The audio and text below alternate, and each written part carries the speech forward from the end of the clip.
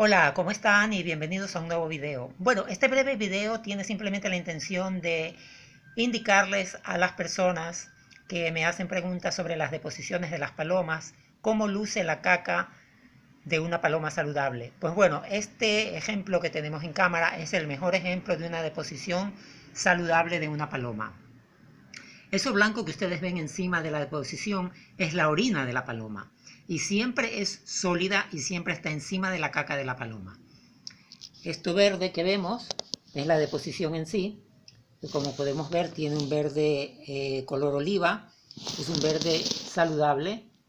Cuando esta deposición cambia en su textura o cambia en su color, es porque hay algún proceso en la paloma que puede ser eh, grave o no tan grave, dependiendo de qué es lo que puede estar afectando a la paloma o a qué órgano.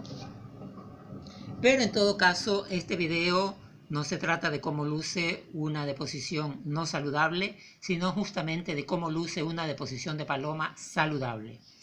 Pues bueno, cuando tus palomas o tus palomas hacen este tipo de deposiciones es porque su sistema interno está funcionando muy bien, tanto sus riñones como su hígado y su aparato digestivo.